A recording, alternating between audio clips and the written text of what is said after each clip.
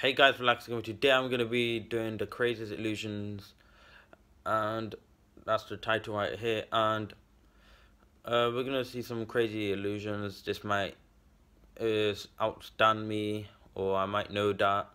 And let's just go on to the first craziest. Alright, so the first crazy illusion is gonna be somewhere around here, and it looks like there's like two men playing a guitar and two people speaking together, but I can see two people speaking together and I did not know that there are two Mexicans playing a guitar and that's the first one. So there's two Mexicans and two old men but um, yeah let's just get on to the next craziest so the next craziest illusion is how many legs does an elephant have? And it's around here.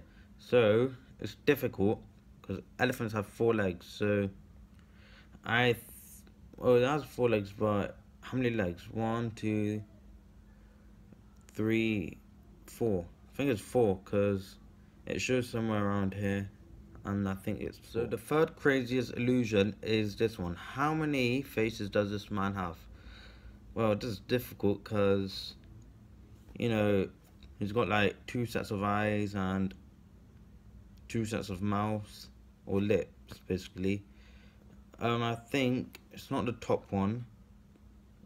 Uh, I think it's the middle one and the bottom mouth. So like the middle eyes, the second sets of eyes, and the second set of lip or lips.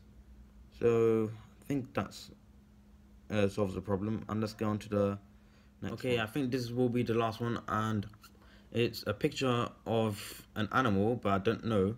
It's either a duck or rabbit because you can see it's got ears and also it's got one set of eye and it's got a beak as well. So I think that's a very good illusion. I think I'll say duck because you can clearly see what animal it is and yeah so let's go on to alright guys if you enjoyed this video make sure to smash that like button and that subscribe button and I'll catch you in my next video